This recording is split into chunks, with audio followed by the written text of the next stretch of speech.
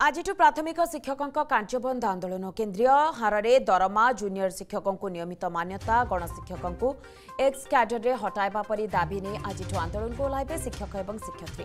କାର୍ଯ୍ୟବନ୍ଦ କରିବା ସହିତ ତିନିଶହ ଚଉଦ ବ୍ଲକ ଶିକ୍ଷା ଅଧିକାରୀଙ୍କ କାର୍ଯ୍ୟାଳୟ ଜାରି ରଖିବେ ବୋଲି ନିଖିଳ ଉତ୍କଳ ପ୍ରାଥମିକ ଶିକ୍ଷକ ଫେଡେରେସନ କହିଛି। ପାଖାପାଖି ଏକ ଲକ୍ଷରୁ ଅଧିକ ଶିକ୍ଷକ ଶିକ୍ଷୟିତ୍ରୀ ଆନ୍ଦୋଳନକୁ ଓହ୍ଲାଇବେ ଏବଂ ଏଥିପାଇଁ ପାଠପଢ଼ା ଏକ ପ୍ରକାର ଠପ୍ ହେବା ପାଇଁ ଯାଉଛି ବିଭିନ୍ନ ସମସ୍ୟାର ସମାଧାନ ଶିକ୍ଷକ ଶିକ୍ଷୟିତ୍ରୀ ବିଭିନ୍ନ ସମସ୍ୟାର ସମାଧାନ ଶିକ୍ଷକ ସଂଘ ଅଗଷ୍ଟ ପାଞ୍ଚରୁ ବିଓ ଏବଂ ଏଗାର ତାରିଖରେ ଡିଓ ଏବଂ ଜିଲ୍ଲାପାଳଙ୍କ ଉଦ୍ଦେଶ୍ୟରେ ଦାବିପତ୍ର ପ୍ରଦାନ କରାଯାଇଥିଲା। ତେବେ ସମ୍ପର୍କରେ ଅଧିକ ଅପଡେଟ୍ ଦେବା ପାଇଁ ଆମ ସହିତ ଫୋନ୍ ଲାଇନ୍ରେ ଯୋଡ଼ିଛନ୍ତି ଆମ ପ୍ରତିନିଧି ସ୍ୱପ୍ନାଞ୍ଜଳି ମହାନ୍ତି। ସ୍ୱପ୍ନାଞ୍ଜଳି କେତେବେଳେ ଆସି ଶିକ୍ଷକ ଶିକ୍ଷୟିତ୍ରୀମାନେ ପହଞ୍ଚିବେ ଏବଂ ଆନ୍ଦୋଳନ ସେମାନଙ୍କର ଜାରି ରଖିବେ ସେ ନେଇ କୌଣସି ଅପଡେଟ୍ ସୂଚନା ଆସିପାରୁଛି କି?